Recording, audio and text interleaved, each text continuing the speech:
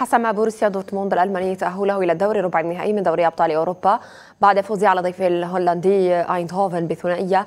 دون رد في المباراة التي جمعتهما على ملعب سيجنال إيدونا بارك في أو بعد تعادل الفريقين بهدف لمثله ذهابا وكسر صاحب الأرض عقدة الأندية الهولندية التي واجهها على ملعبه في دوري الأبطال في خمس مناسبات سابقا حيث لم يحقق إلا انتصارا واحدا.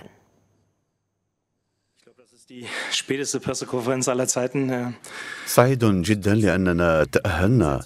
لم يكن من السهل اجتياز مرحلة المجموعات إذا نظرت إلى الوراء. بدأنا في دوري أبطال أوروبا ولم نتمكن من الفوز في أول مباراتين.